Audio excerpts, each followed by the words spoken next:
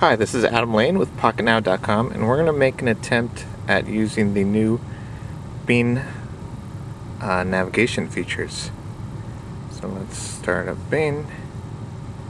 I have it already going. Let's go from the beginning. Here's our new interface. We have much more finger-friendly buttons at the bottom. And I can go to directions and I'll choose a different location. I can do uh, voice recognition, so let's see what we got.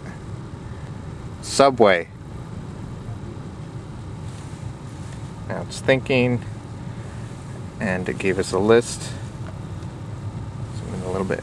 That's the closest one, so now I can get directions like usual, or I can press navigate.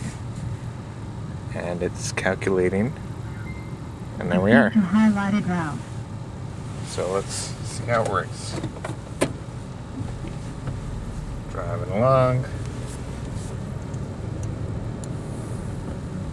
In 100 feet, turn left onto West Clinton Avenue.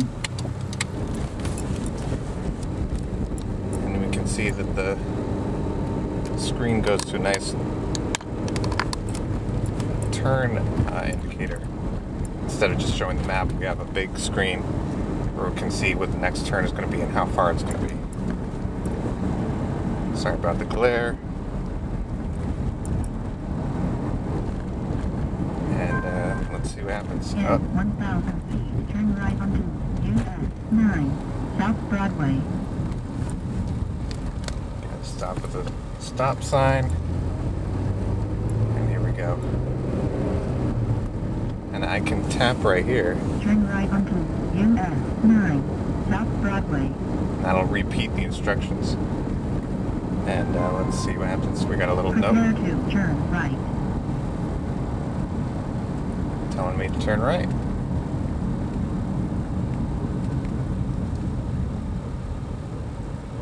And we're at a traffic light, so uh, that is pretty good. Let's see what else happens.